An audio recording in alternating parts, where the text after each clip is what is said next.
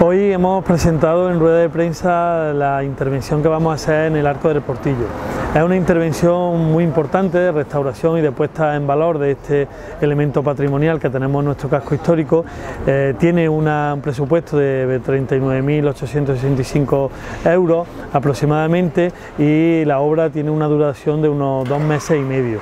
Como digo, una obra muy importante porque nuestro casco histórico patrimonio de la humanidad, bueno, pues tenemos que mantenerlo, tenemos que conservarlo y que tenemos que ponerlo en valor. Es una zona de paso de turistas y de cordobeses y de por donde pasan miles y miles de personas todos los días y bueno, es muy importante, como digo, mantener y conservar nuestro casco histórico. Por lo tanto, estamos muy contentos de esta intervención y de esta obra que va a empezar en unos días.